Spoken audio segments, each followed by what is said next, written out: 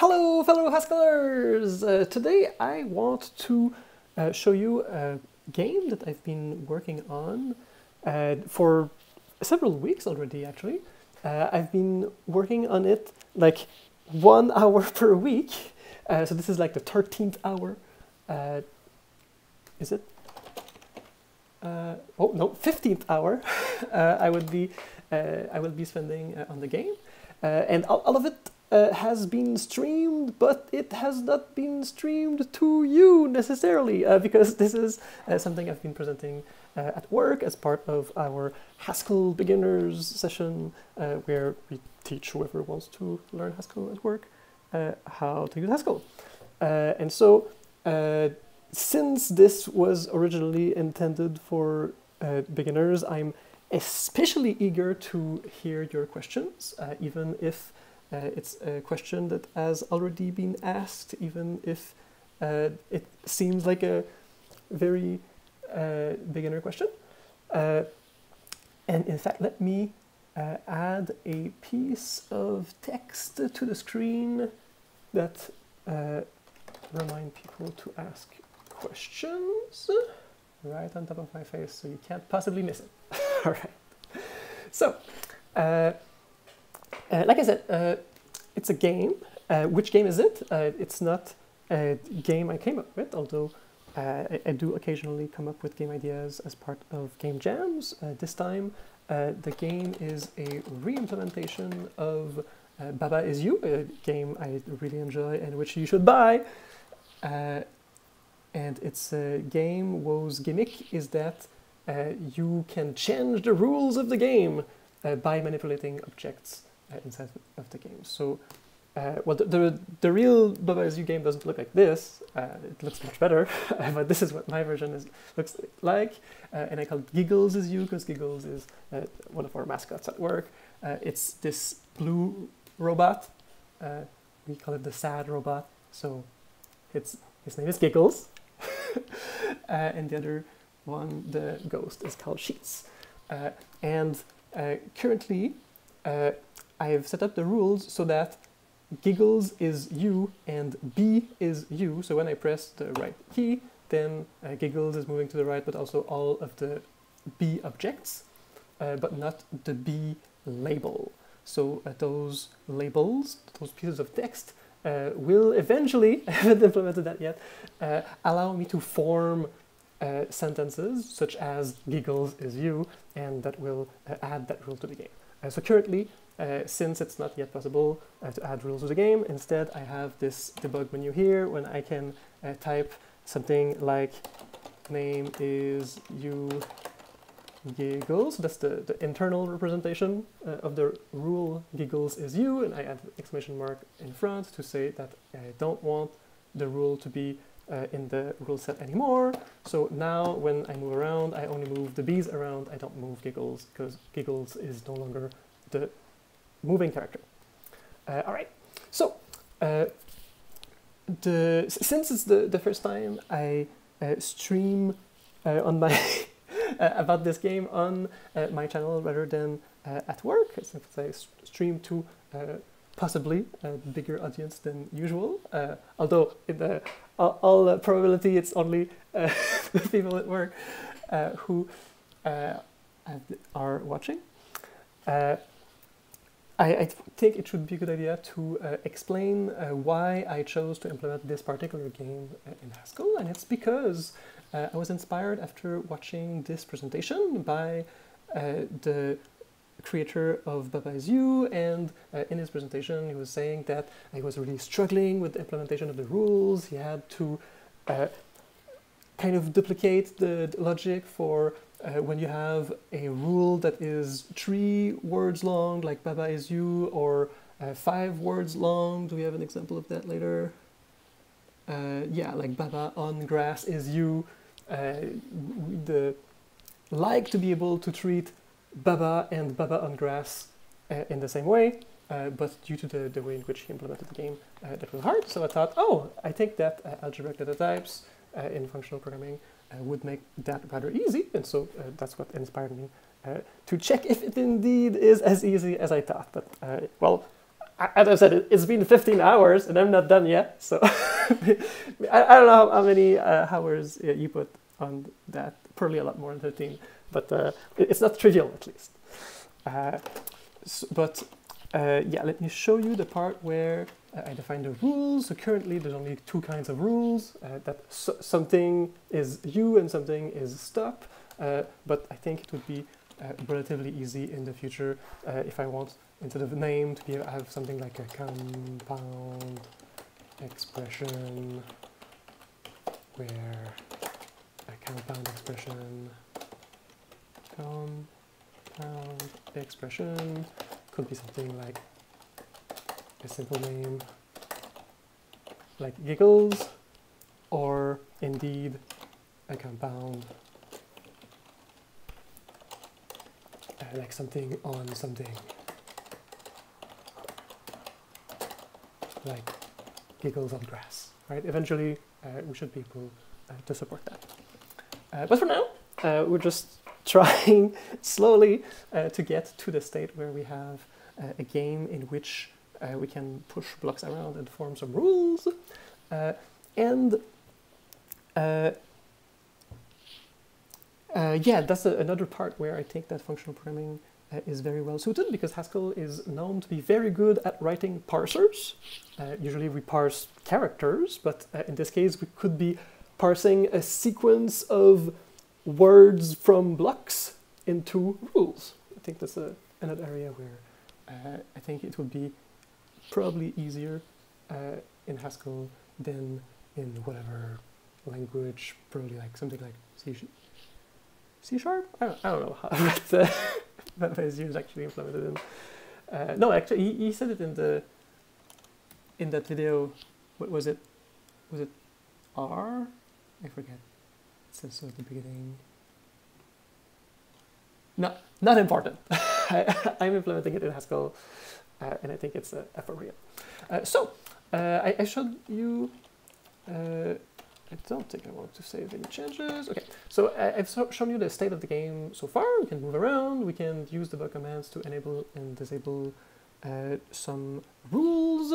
Uh, but uh, the next thing I want to add is some tests uh, because I just just before that I had, implemented some tricky logic for what happens when you run into things. Uh, so for example, here uh, if I move to the, let's say to the left, uh, here I am blocked by the edge of the wall. Uh, but if, uh, how could I engineer this? Uh, if I move left now, whoop, no, nothing happens because nothing is stop. Uh, but if I make name is stop sheets, okay, so now if I try to move left sheets will be an obstacle, and so I should not be able to move through.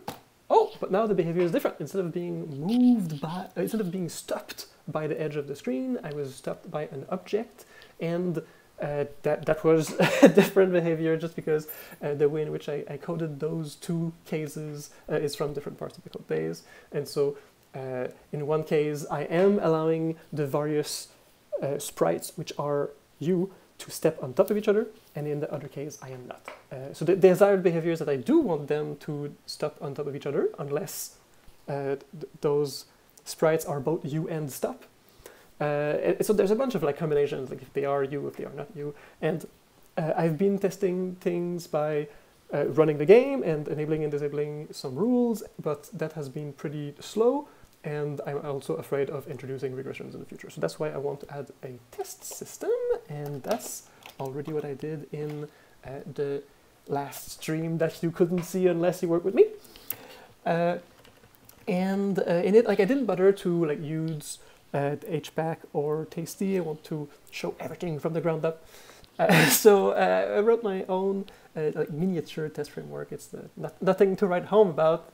it's just uh, I describe a test by some computation that has access to the world. Uh, I should mention that I'm using Gloss.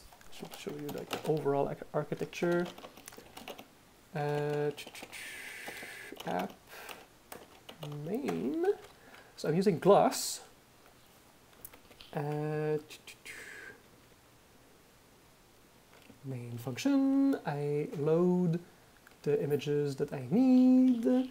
I also uh, load a bunch of measurements for some characters, uh, like not characters in the video game sense, but like characters which form a string, like giggles, G-I-G-G-L-E-S, uh, because when I draw this word to the screen, I need to know uh, like how many pixels it takes when I draw it at full size so that I can uh, scale it down and make it look uh, like it fits, make it fit within the box. That's why I need to know the size of all of the characters. Uh, well, all of the characters. There's a, there's a lot of Unicode characters. So currently I only support uh, ASCII characters, but uh, I've done it in a way where if I want to add a particular Unicode character, uh, the game will crash, but it will tell me which character I'm missing, and then uh, I can tweak, uh, load char chart. Did I not generate all the tags? There we go. So here, I'm only doing it for characters uh, between, well, all, all of the printable ASCII characters, uh, but I could easily like add comma, some other number. Uh, come to think of it, I should probably do it like this. Map chr. Am I? Yeah, I want to convert it to a character here so that, okay, now it will be much easier to add special characters like eacute, for example, so that now uh, if I go back to, where did I, where, where did I define uh, how things are drawn?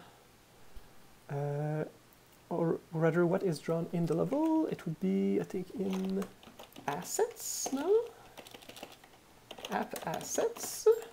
I have here a string representation of the world where uh, S is like special cased to be sheets and G is special case to be giggles, but every other letter is just that letter. So if I just put an E acute in the middle of that level and run the game, then we should be seeing a cell with an E acute right in the middle.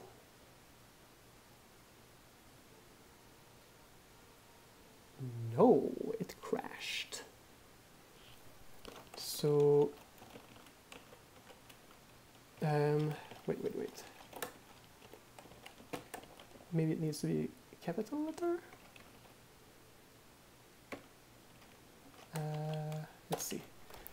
So, so, the, so the reason I just did that, right, was uh, so that it would be easy to add a list of Unicode characters here. So I'm definitely adding E acute and capital E acute. Uh, and for each of them, I'm computing the width and I'm adding it to the char chart.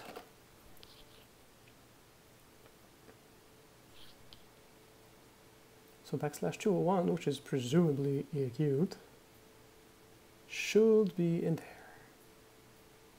and it kind of is because it didn't crash, but also it didn't display anything. It's blank.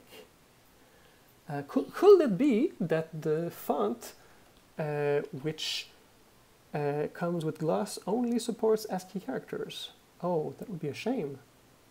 Uh, yeah, I remember. Yeah, in a in a past game that I made using gloss, uh, in the credits, I wanted to write a game by Samuel Gélineau, and there's an E acute in my family name, uh, and I had to hack it by uh, drawing an E and then like drawing a line on top. So uh, yeah, I, I, guess I won't be using any Unicode characters, uh, which means that uh, whatever I had here before was fine.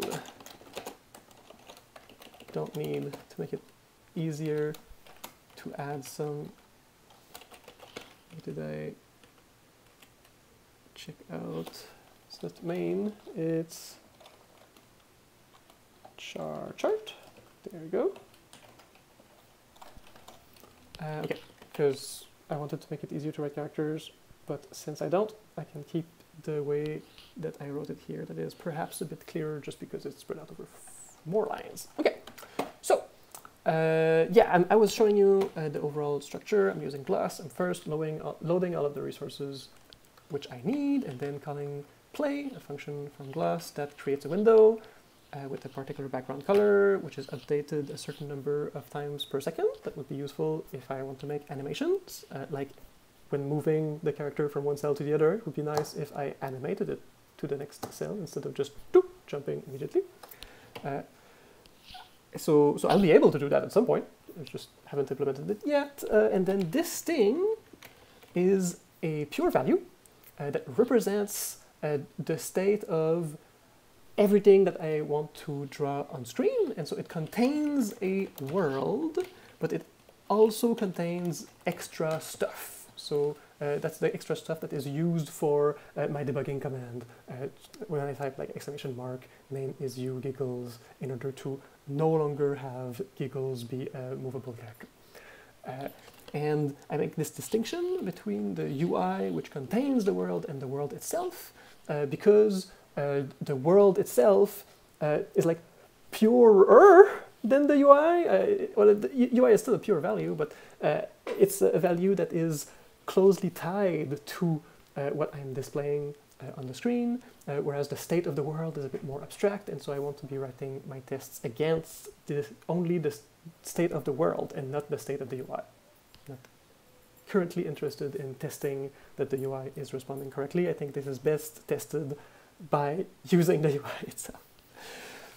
Uh, so, so yeah, there's this React UI function that uh, reacts uh, every time we type a key. Uh, that's where I construct the type, the text that is uh, being displayed uh, at the top, which is the command. The let me just show you what I'm talking about.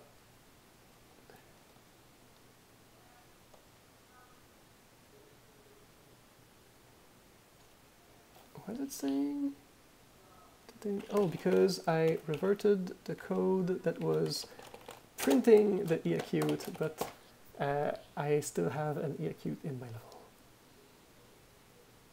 Mm -hmm. Okay, so uh, if I type ABC, this ABC at the top is uh, what is being handled by this uh, line here, which adds ordinary characters to the debug command, and I need to handle like space especially because it's apparently considered a special character. It's not represented by the character 42 in Gloss, uh, and the backspace character, and the enter character to run the debug action, uh, but most of the time, uh, it's the world uh, which is reacting to, like, but well, so far it's only reacting to the, the arrow keys. and that's the function that I will be testing.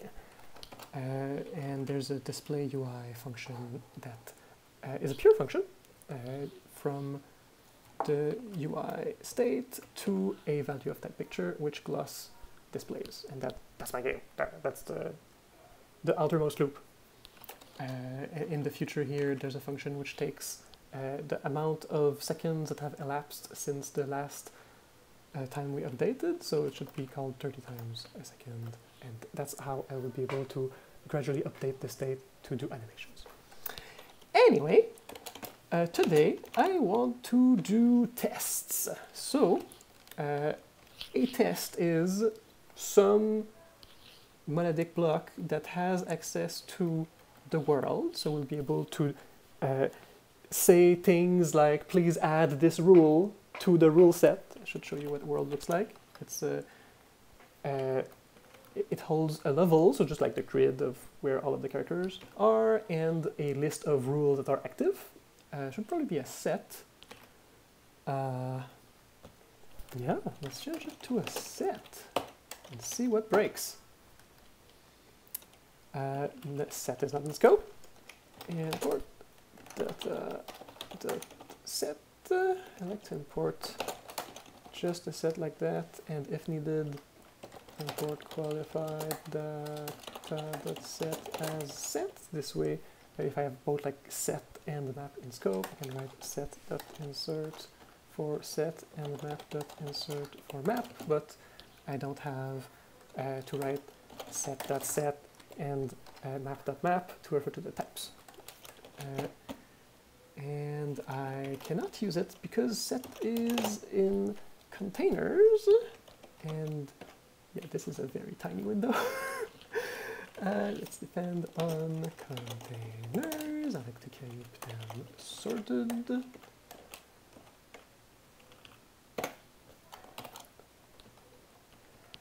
And I'm sure there's to be a bunch of stuff that will be broken because I now use a set instead of a list. And indeed, in this very file, uh, I say filter. I probably want set.delete rule from the rules. And 23, a few lines later, instead of adding the rule to the beginning, set.insert. And I need to give rule an ord instance. I also like to keep those shorted, but it's harder.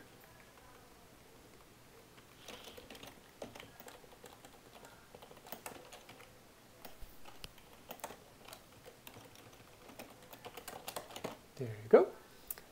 Uh, and that's it. Apparently those were all of the changes I needed to make in order to make the code type check with a set instead of a list. Uh, I, I would normally run the game now in order to see if I've broken anything, but I, I, I said I wanted to write some tests. So let's write some tests to see if I've broken anything.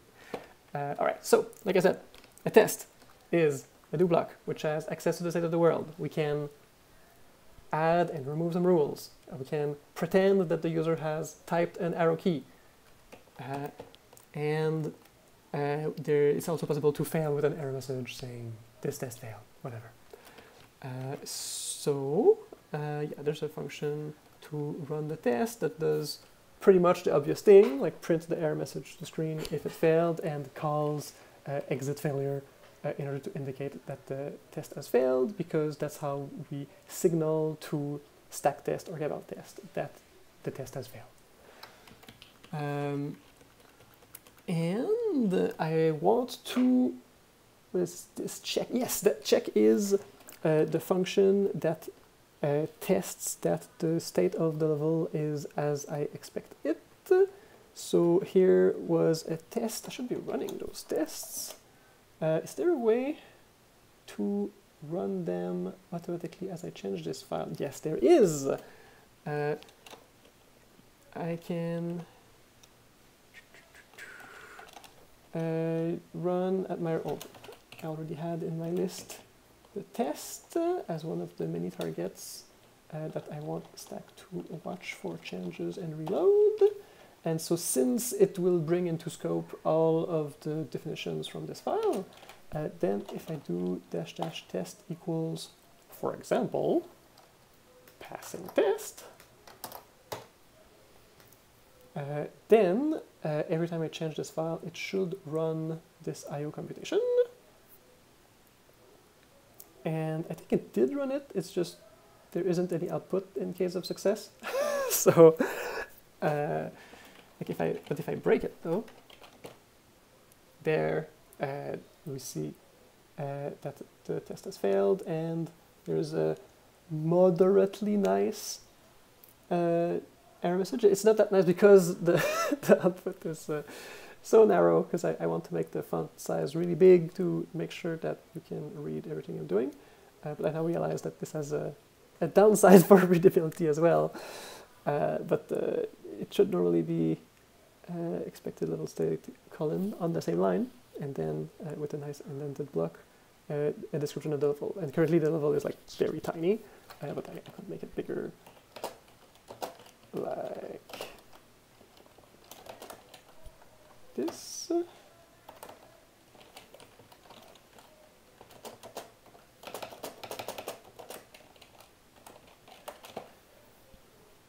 And it prints uh, the state of the level. Uh, now it says it's an unexpected level state, but it doesn't say what is the state it expected or rather on the contrary, it, it only prints the expected state because we're expecting y, but the current state is x. And in order to debug, it would probably be very helpful to be able to compare the expected state to the actual state. So uh, I need to write a function which goes in the opposite direction of a function I have already written um, somewhere. Uh, so here, parse level is a function which parses a representation of the level that uh, has a, a just a, as a bunch of characters uh, and converts it to the, the more grid-like representation, a slightly more efficient representation that I want to use uh, when running the game. Uh, and well, it's not just for efficiency, it's also because uh, sometimes there's two sprites on top of each other, and that's a bit hard to express using a single character in this string-based representation. Um, and so th that means there's a limitation, right? When I, I, describe the level using a string, I can only have one character per stack, per, per cell. I cannot have characters stacked on top of each other. Uh, but now I kind of want to convert the level into that string representation, but the level can have stacked sprites. So, uh, well, they have an order, and they, they need to have an order when they are stacked so that I can draw them in the right order. Uh, and so I guess I will simply use the one on top. Uh, sure, I can do that. Um, although, uh, I said, um, well, not, not, it's not something I said, it's something I, well, it's something I did in one of those previous work-only streams that uh, you have not seen if you are not working with me, and that is uh, these kind of examples, uh, right? If S is stop, and currently uh, W, X, Y, and Z are all U, they're all playable characters. Uh, if, uh, I guess I shouldn't say playable characters, because that refers, that typically refers to uh, when you're currently playing as one of them, but you could be one of the others. But like in Baba Is You, everything is a playable character. You can always take control of any object you want. Uh, just a matter of saying name of object is you. Uh, but here I'm saying that W, X, Y, and Z are you. If you press a key, they will currently move.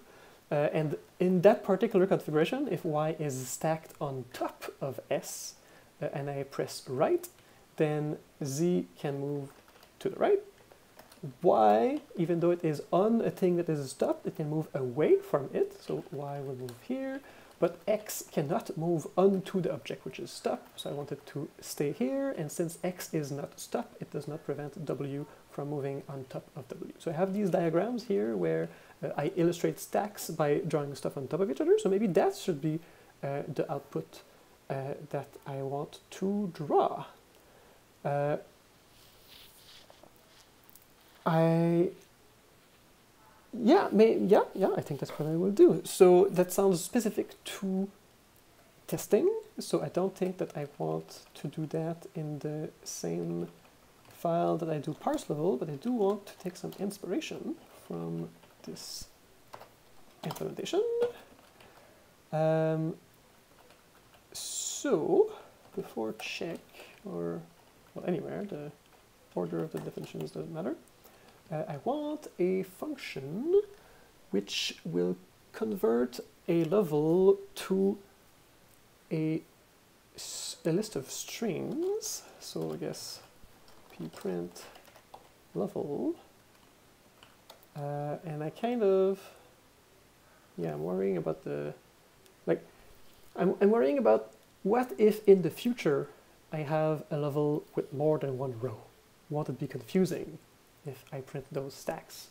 Uh, so I guess I want to print, I want to go to from level not to a list of strings, that would be like a, a 2D array, but a list of list of strings.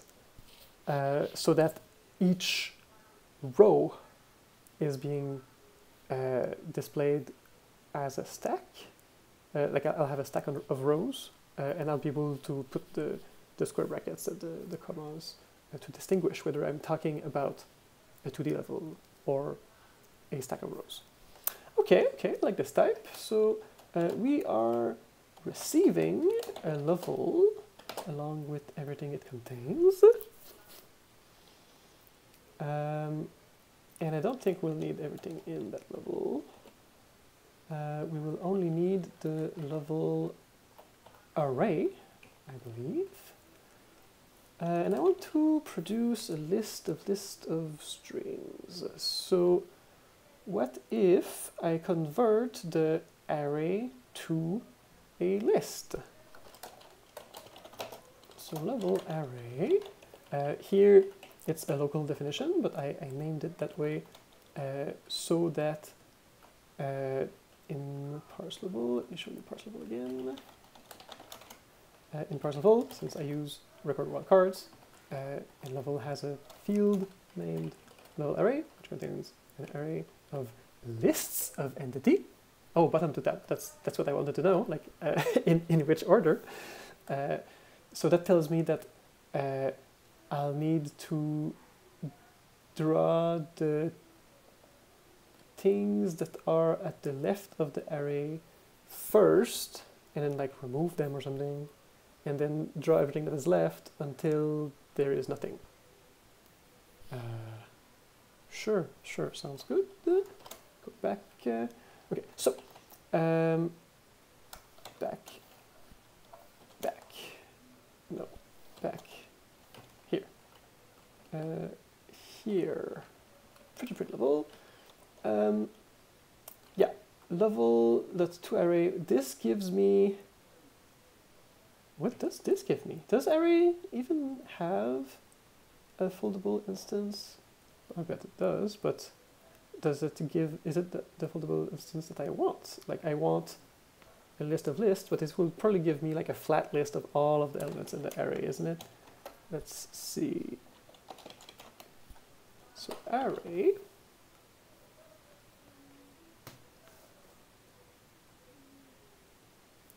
does have a foldable instance, uh, but precisely because it's a foldable instance uh, and the toList method from the foldable uh, type class is from an array of A's to a list of A's, I know that it's giving me a, a flat list already.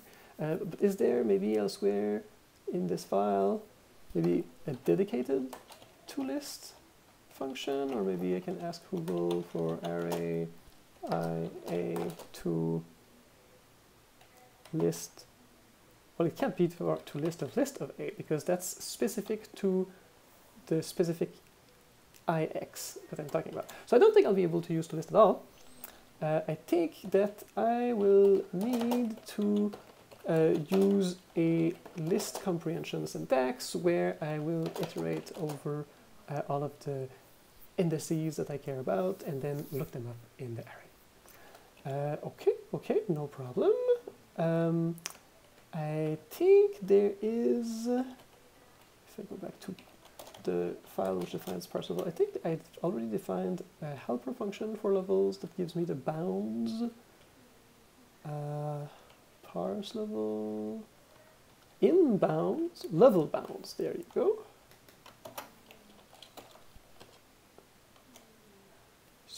So, so level bounds of the level,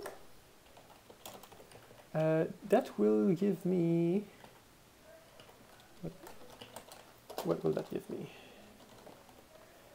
Level bounds will give me a pair of, I think it will always be like 0, 0, and the max entry, uh, so the width and the height, uh, um, which I guess I could flip on its head because I want from 0 to the width and separately I want from 0 to the height. Uh, I don't know off the top of my head of an easy way to uh, transpose tuples. Uh, I know how to transpose a nested list of list. It's a method, it's a function called transpose. Uh, but uh, I guess I will just uh, do some pattern matching. yeah, I'm pattern matching on that. And here I will iterate. So the y coordinate will go, let's see, do I need to go from 0 to h or from h to 0? Uh, yes, h is not totally correct. Uh, is the last entry. So if, if the entries are 0, 1, 2, it will be 2, even though there's three entries. So let's call it like y z. I, I like uh, to have 0 for the first thing and z uh, for the last one. Uh, this way I can use like y for the, the penultimate entry uh, and 1 for the second entry. Like it, it works in both directions. Uh, okay, so I want y to go, yeah, yeah, I need to take, um, so, well, I need to know what's the convention used when drawing uh, the level. So uh, do I have a function draw level? Yes. And I translate, uh, so in Gloss, positive y is up. So uh, for each sprite in my grid, I go at the position ij, and how do I compute p, the transformation? Uh, it's some linear transformation of the coordinate. So that means that if the coordinates get bigger, they will be drawn higher on the stream. So that means I want if I want to print them to the terminal as a, a list with the, the topmost row and then the second, then I need to go from biggest number first to smallest number.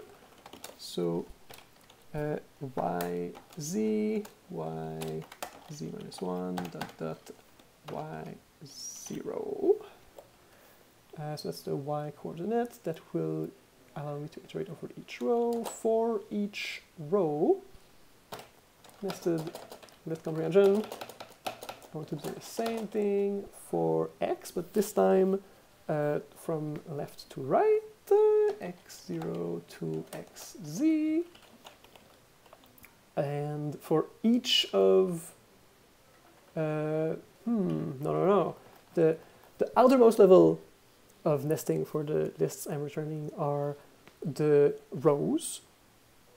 Uh, so the, the, y increments, uh, well, decrements uh, as we go through the rows, but then uh, for each of those, I want a list of uh, layers in the stack, right?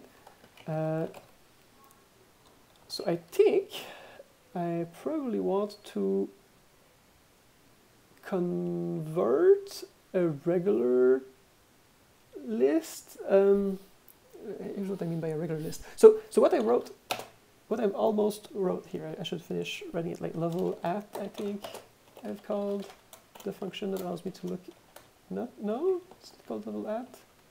Let's go see what other things exist in level bounds. Uh, sprite at takes a level, a start position, and an entity. So sprite at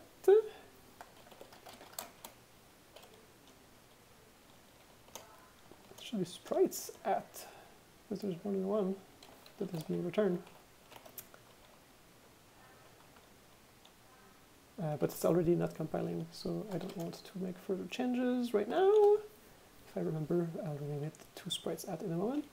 So sprite at uh, like I said, takes a level and a position, and I've just created a position, uh, the xy coordinate. I've just computed the one that I care. Okay, so what I've now computed uh, here is a row, but not in the format that I want to print. It's a row that contains all of the information I want to print, but uh, it's a list of lists where each list is a stack. But what I want instead is a list, which is itself a stack, where each entry is a row. Uh, so I think uh, I should say something like pv print row and do that logic in the helper function. Print row. So that takes a list of list of entities because sprite at returns a list of entities, a stack. And we will return a list of strings, a list, a, a stack of rows. Uh, and it will make more sense to produce them from the bottom up. So I think I want to reverse the resulting list. And if I'm going to do that kind of shenanigans, I might as well call reverse here as well. And do the easier thing of going from 0 to yz. All right.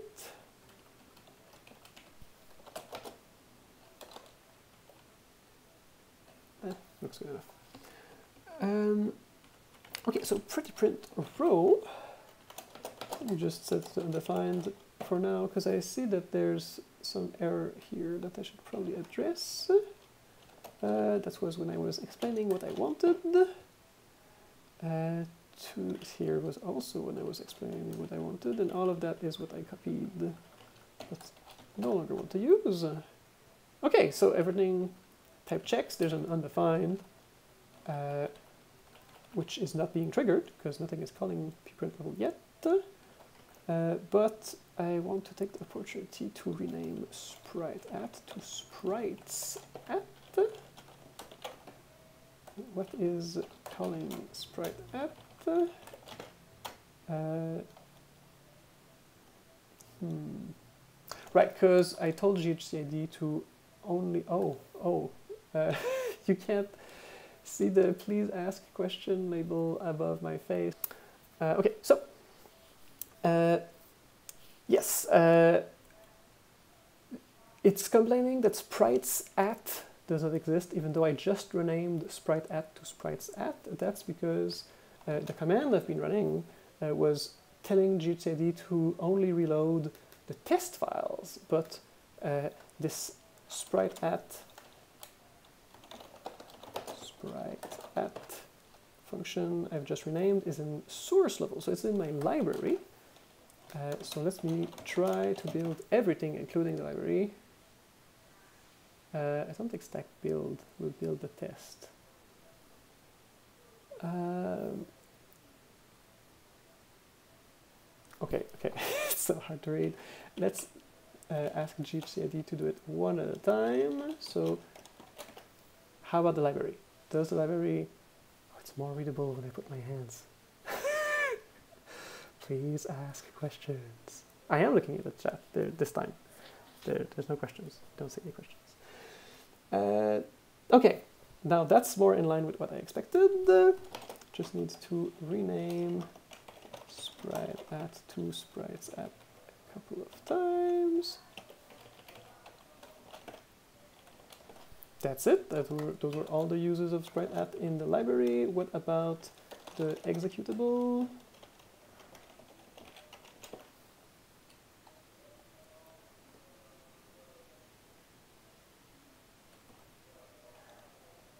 Uh,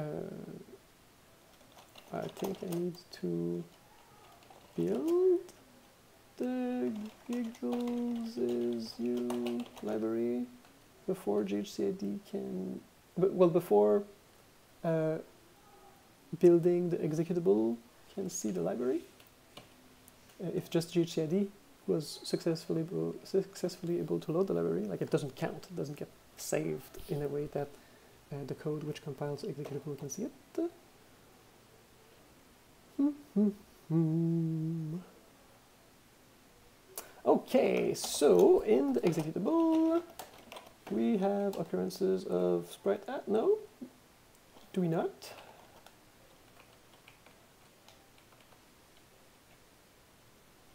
Oh, that's still because rules is a set.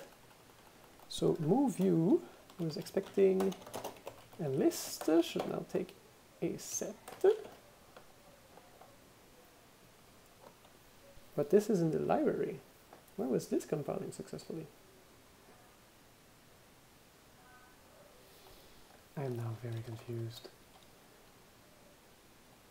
So, world uses a set. Move you here.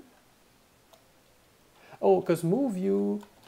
Okay, now I'll uh, can I configure it to load everything again because I, I want to just make sure everything compiles.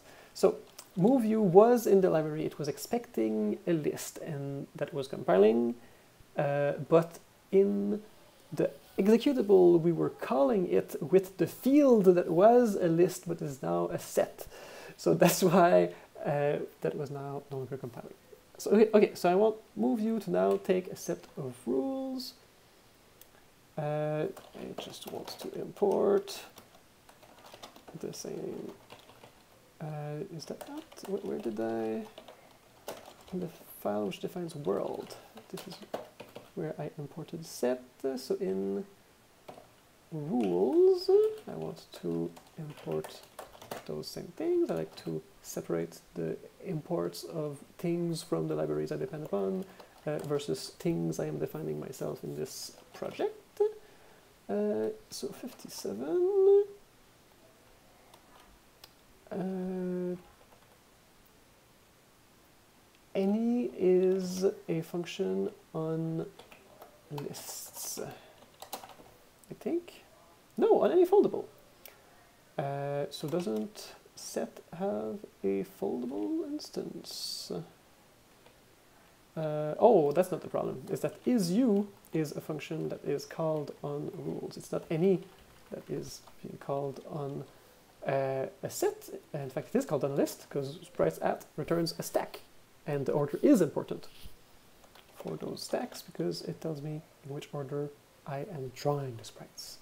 Uh, but is you is a function that was taking a list and should now be taking a set.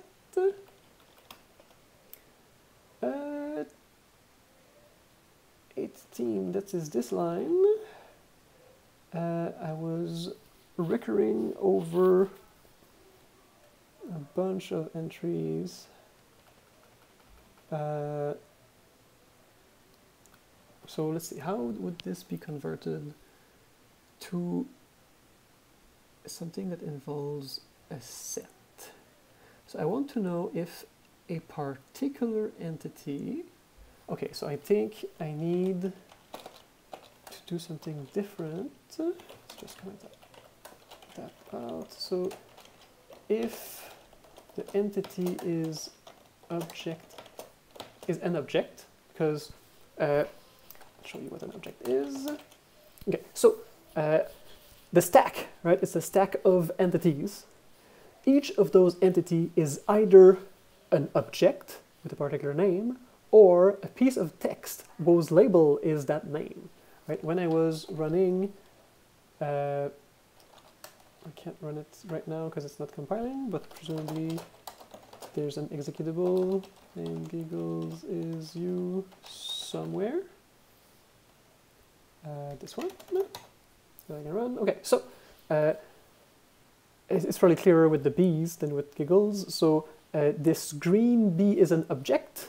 It's a thing that is named by the name B. Like I wasn't uh, like in Baba is you in the real game. Like they, they are all they're all images. Like you have the picture of a box, and you have the text box that refers to the box uh, that is closest to here. We have our favorite robot Giggles that is referred to by the name Giggles. Uh, and uh, for like I only have two images, Sheets and Giggles, and uh, like I'm not trying to make a game I can sell. I don't need it to be pretty. Uh, and so uh, th th that's it. I, I'm happy with those two images. Everything else uh, is just going to be a green circle with the name of the thing that there should be an image for there. so uh, it's like worse than programmer art. It's no art at all. But at least we can distinguish clearly, like this is the label that refers to objects B and this is the object B. So That's the, that's the difference. Uh, and uh, if I say something like uh, B is U, well, B is already U, because I can move it around, because that's just part of the, the default rules that I, I start the game with for testing.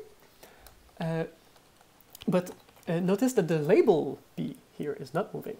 if I want labels to be moving, I, I can't say, at, at least in Baba is you, I cannot say I want the label B to be moving. I can only say that all the pieces of text are moving. So I can do that by saying may is you uh, text I think is special. And now I can move all of the pieces of text.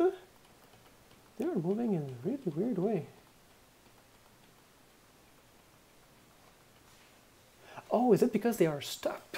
I guess the interaction between things which are stop and things which are you is suboptimal. So that would be another test to add and then to fix. Because uh, I would expect the, the whole row to move to the right, but instead only the first one is, is doing so. And that, that, that is working fine when things are not stop. So there's a, a poor interaction there. Uh, and I think it was working before. Hmm, not sure. Um, yeah, so that's what this part of the text of the test is doing here. Uh, if the object is a text, uh, right, because what I was showing you is that every object, every sprite is either an object, something like a green bee, or a text, something like the letter B, uh, and they, they both obey like slightly different rules. And so if I want to ask if the B object is you, uh, then I would check if in the rules there is a name is you object name. If that is, uh, I think it's a member of the rules. Uh, whereas if it's a piece of text, uh, I want to check if, oh, it's not even object name, it's just a string. Uh, I want to check if the text, if the word text, which is like special, uh, is a member of the rules. So that's actually simpler than before, because uh, everything else I think was just trying to recur down the list, and now we don't need to do that. Uh, and same thing for is stop. Uh, hmm, there's going to be a bit of well, there was already a bit of duplication, and I guess there will still be a bit of duplication uh, until I remove the duplication. Uh, maybe now would be a good time to do that. Uh, hmm.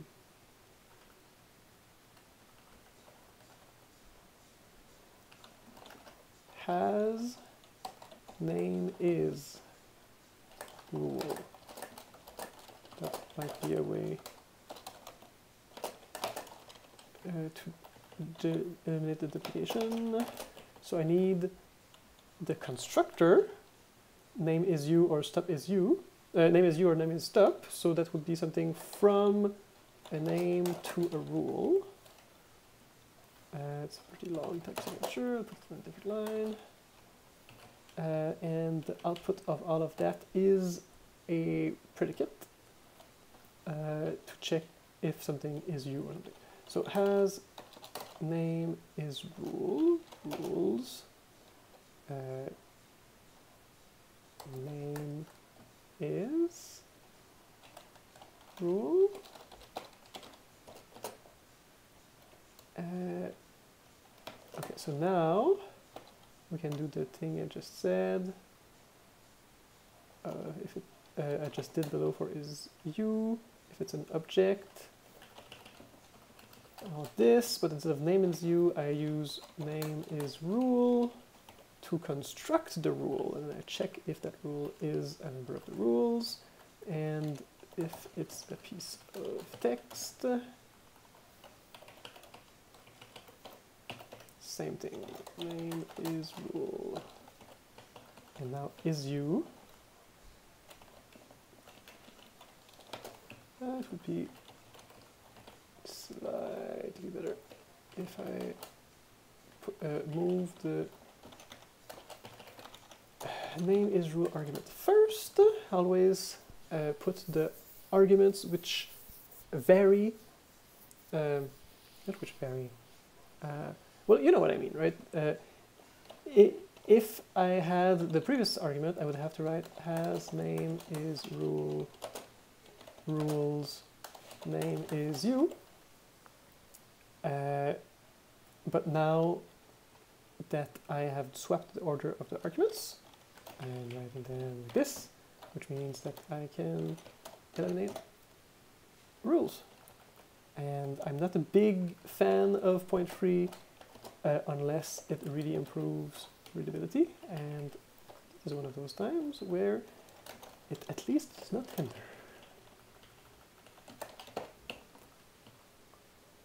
All right, so 29.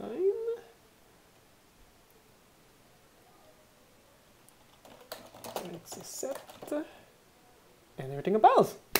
Excellent. So, uh, it's been more than an hour. I'm thinking of wrapping up. I like to have relatively short streaming sessions.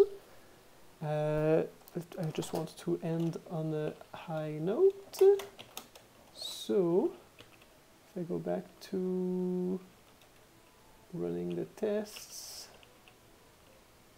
this one, uh, not source, but test. Uh, if I just finish pprint row, then I think we'll be good. Uh, why am I now getting type errors? I thought I was loading everything in GHCID a moment ago. What was I doing instead? I was loading lib, executable, and test. Yeah, I was loading everything. So what's wrong? Couldn't match set rules. Line 21.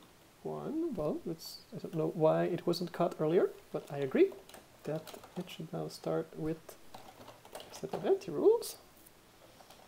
Uh, and come to think of it, so should the world.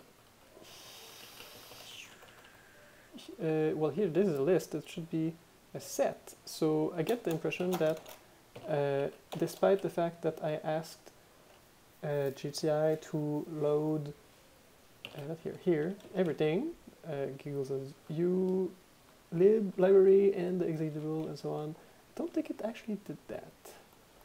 So let's look at the executable.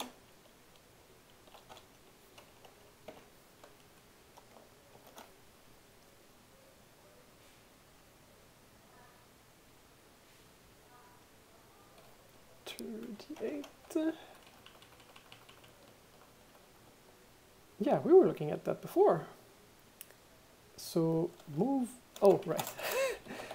need to build uh, the library so that the code which builds executable can see it.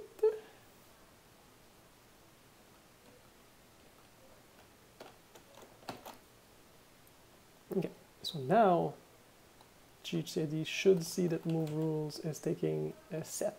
And indeed, the next error is not on line 38, but on line 91, which is exactly the place where I wanted a type error set that from list. And as usual, if I want to use set, I need, uh, where was it? In, not in rules in world this line.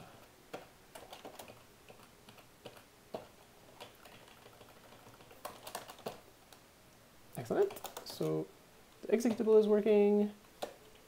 Let's now do the tests.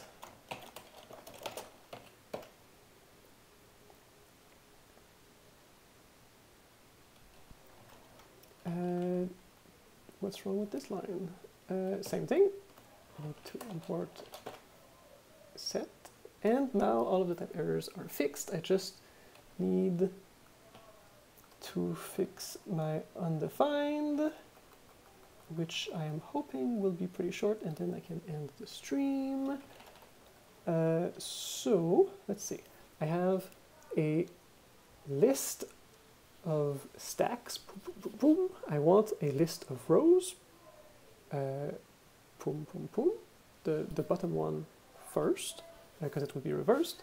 Uh, it's just because it's easier to get the, the bottom row first. So uh, let's see the, the base case, right? Because I will be printing the bottom row and then removing all of those entries from the stack, and then I will have shorter stacks. So the base case uh, is not uh, as usual when I iterate over a list when I reach the case in which the list is empty, but rather the case in which I have a list of empty stacks.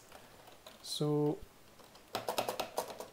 if all the stacks are empty, null checks if a list is empty. Uh, so that's uh, uh, the, the row. If they're all null in the row, then I return an empty list. Otherwise, I return something and I will recur with pretty print row in which I drop the bottommost element of each stack so that we get a bit closer to the state in which they're all null. Uh, and here I need to print the first element, but some of them might be empty. I know that they're not all empty, uh, but I need to worry about the case in which they are. So I, I just I can't just do like head. Uh, that that's always a bad idea because it's partial. Uh, but uh, do I have uh, a head may in anything I'm importing? Not, I'm not currently depending on safe and so on. Uh, list to maybe. Uh, yeah, that's in base. Um, let's see. So I want map. Oh, I know. Pretty print stack of the row. Uh, no, I want the first. Uh, pretty print. We'll just call it go just some helper function go that takes a stack. I don't think it's worth exposing it at the top level because it's not semantically very meaningful. Uh, it, if the stack is empty, it returns the space character. And otherwise, if there's at least one entity, uh, well, the entity, as we know, is either an object with a particular name, or, uh, well, this is a list followed by something else, which we don't care about. Um, or it's a piece of text, is that how I called it? Object or text, yes. With a particular name. Uh, and in parse level, I have this convention uh, here that uh, sheets and giggles are treated specially. So I think I want uh, the list of special cases to be like all in one spot. I don't want to have a function here in parse entity that uh, special cases a few characters and then all the way in the test uh, piece of code that does the opposite that uh, parses on giggles and converts to G. So instead here I think I want uh, like special chars or something that would be a list of pairs of character and uh, the entity that it corresponds to. So we have G is special and corresponds to giggles. uh, more specifically to the object giggle. And the convention I'm using is that uh, lowercase letters are the text representation of the same uh, the same object. Uh, so same thing for sheets, object sheets, lowercase s for text sheets. And that's it. No, T is also special.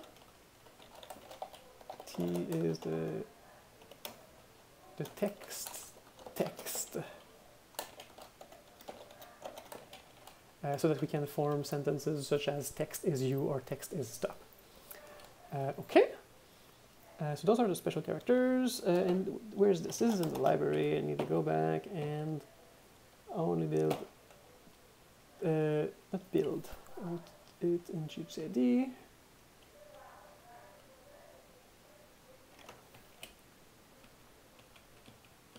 Only the library, because I now know that listing more than one target doesn't seem to do anything.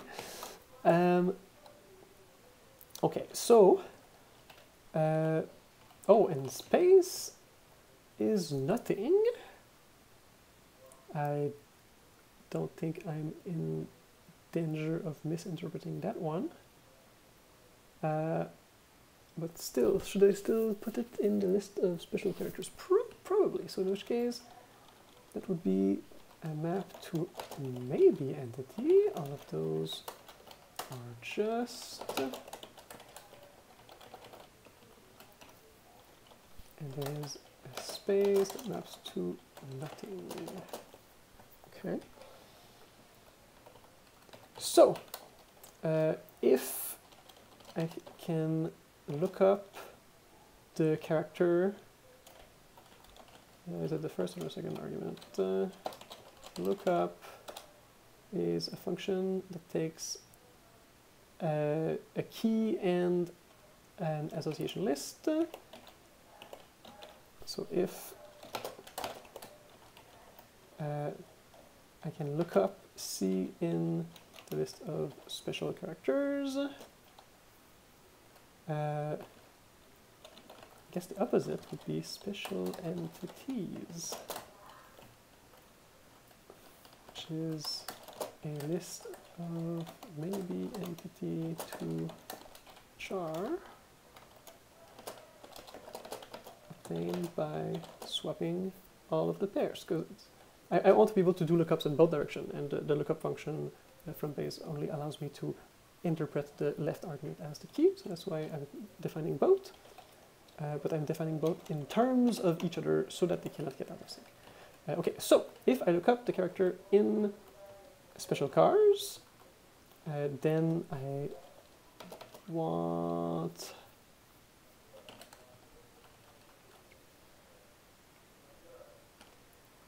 hmm. So I'm trying to use view patterns, but uh, which would be uh, like flip, lookup, arrow, and then uh, the thing I'm matching on would be uh, the maybe entity. So, uh, well, just that's the result. Uh, but I said earlier that I don't like uh, to use point free style when it makes things less clear. So in this case, flip lookup, what does that mean? Uh, so I think I'll define uh, is special char from char to maybe, maybe entity, because if it's found in the map, it would be, we will successfully find the maybe entity, uh, which takes a character and returns lookup that character in special chars and similarly is special entity, which takes a maybe entity and returns a maybe char. A maybe entity. And we look up this maybe entity in special entities. Okay, so uh, now I can write is special char and aha, I even had a mistake before. Uh, I didn't think of the doubly nested maybe. Uh, I should have matched on just of R, but now it's much clearer, I think. Special char uh, returns just of maybe entity and we return it if it is one of those. And otherwise, uh, I have this special convention about uh, upper character and lower character, uh, which I guess I should write here as well, right? So uh, parse entity is from a character to a maybe entity, and I guess render entity or pprint uh, entity from maybe entity to char. Uh, I'm now slightly worried about what if I get a name that is longer than a single character. Uh,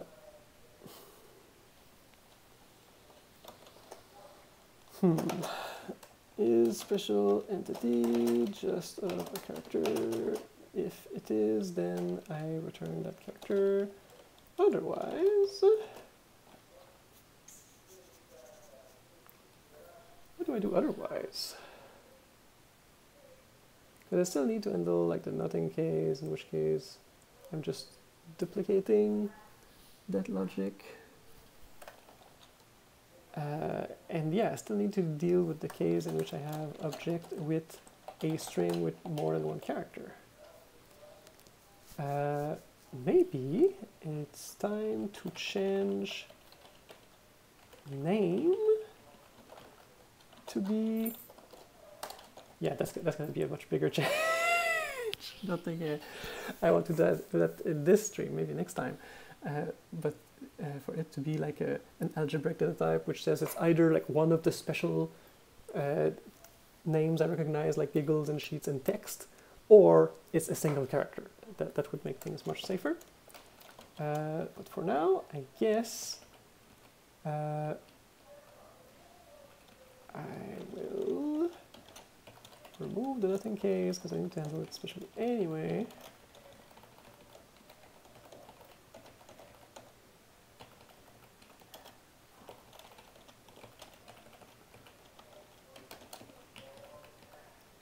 And here it's if it's a an entity, yeah. Entity to maybe char. I think that's fine. And here, okay, parse entity. Okay, this maybe means that it was. It doesn't mean that it was not parsed properly. It means that we want a space because we cannot fail to parse a character. Okay, so if it's space, I return nothing. If it's a special character, I return the character. Otherwise, I do the special dance with uh, is upper. Uh, and in, in the other direction, if it's nothing, I return a space. If it's a special entity, I return the character. And if it's an object, I will assume that it only has, it's only one character and I, I guess I'll, I'll, leave that uh, partially, uh, leave this function partial uh, to remind me to do the fix I just mentioned to uh, improve my data modeling, to make the impossible cases unrepresentable. Uh, so yeah, uh, if, if I reach one of these lines, I expect that there will be only a single character, in which case I return it. And to enable view patterns to use this syntax. Oh, oh, comments. Thanks for the stream. There's a list to maybe in base. Uh, indeed there is. Uh,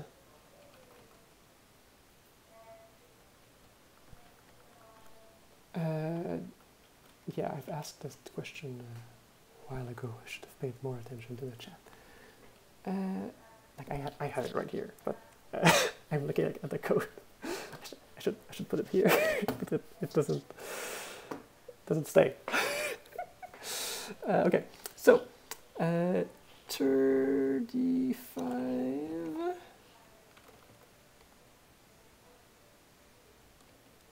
What's wrong with that? Uh, so isn't that a tuple?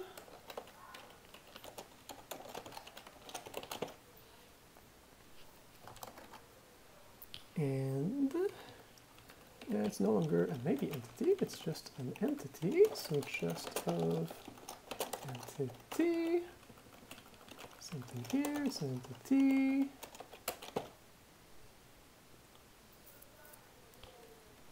Sixty.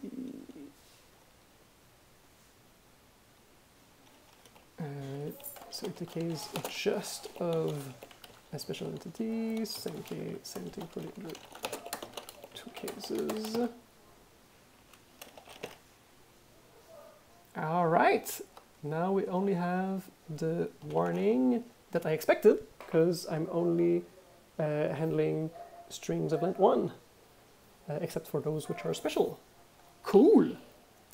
Uh, so after all of that, I can finally go back to the test. I'm way over. I wanted to stick to one hour. And uh, in pretty print row, yeah, so uh, yeah, this is the place where I could uh, use list to maybe as recommended in the chat. Uh, so what does it do? It returns nothing on an empty list or just a, yeah, that's exactly what I want.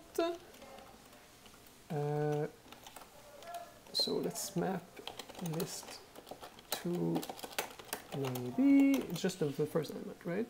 First element, yep. Uh, and pprint entity, which I think I've just implemented, haven't I?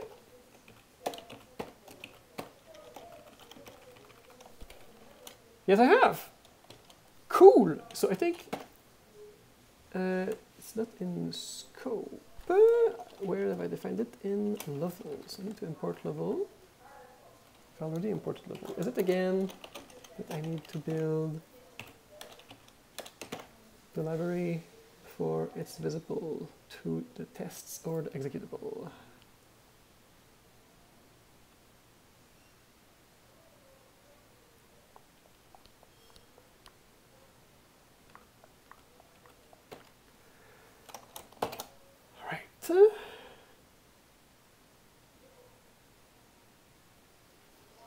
Uh, list uh, maybe is in data the maybe not data list okay?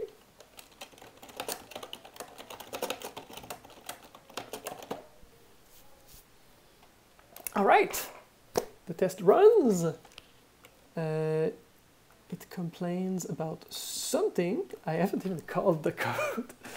Uh, so yeah, in my error message, I probably wanted to say something like, uh, here's what I expected, and here's what I got.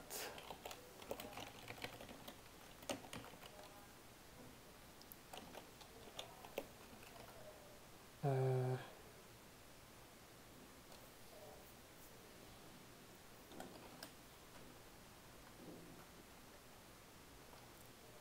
slightly concerned about the fact that I will now have list of list of lists instead of just a list of strings. I guess when I pretty print them, doesn't matter that much which ones are rows and which ones are stacks, because uh, I'll be able to look at the code. Uh, it's not ideal, but uh, yeah, yeah, yeah, let's just write concat. I'm getting a list of lists of strings and uh, oh parse level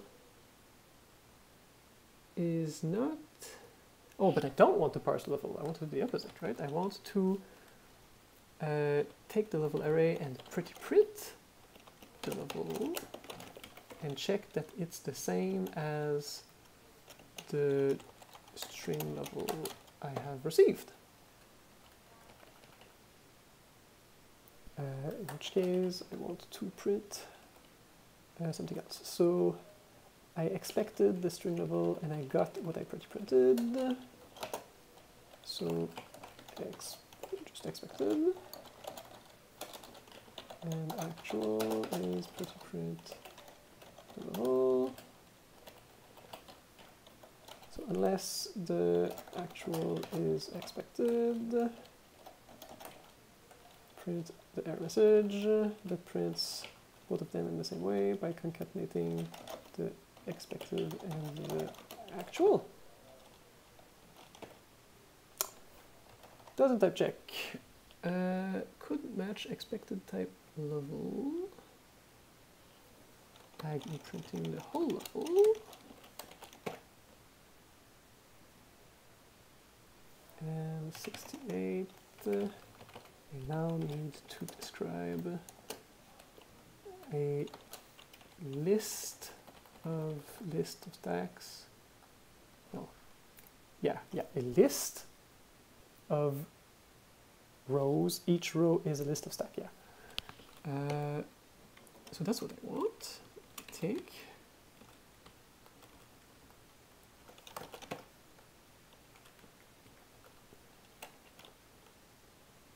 Great.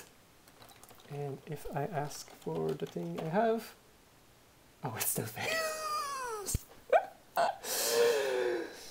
Darn. How, how come it fails? well, I guess we'll figure out next time. I, I think that's like a good time to end the stream.